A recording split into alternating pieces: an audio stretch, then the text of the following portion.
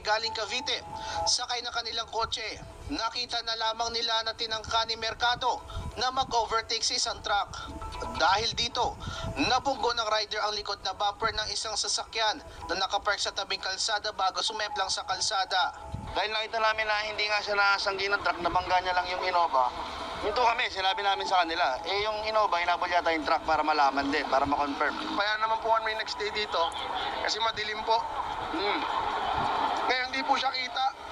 Eh dahil dumadaan siya sa amin, eh. dumadaan po, hindi po siya kita, tapos nandyan siya. Sila na rin ang tumawag ng ambulansya na naghatid kay Mercado sa malapit na pagamutan.